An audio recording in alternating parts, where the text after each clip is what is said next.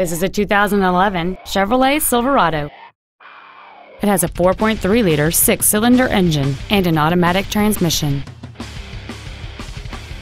Its top features include cruise control, a four speaker stereo system, a double wishbone independent front suspension, 17 inch wheels, an engine immobilizer theft deterrent system, a passenger side vanity mirror, 12 volt power outlets, a low tire pressure indicator, privacy glass, and this vehicle has fewer than 1,000 miles on the odometer. Please call today to reserve this vehicle for a test drive. Hardy Family Ford is dedicated to doing everything possible to ensure that the experience you have selecting your next vehicle is as pleasant as possible. We are located at 1255 Charles Hardy Parkway in Dallas.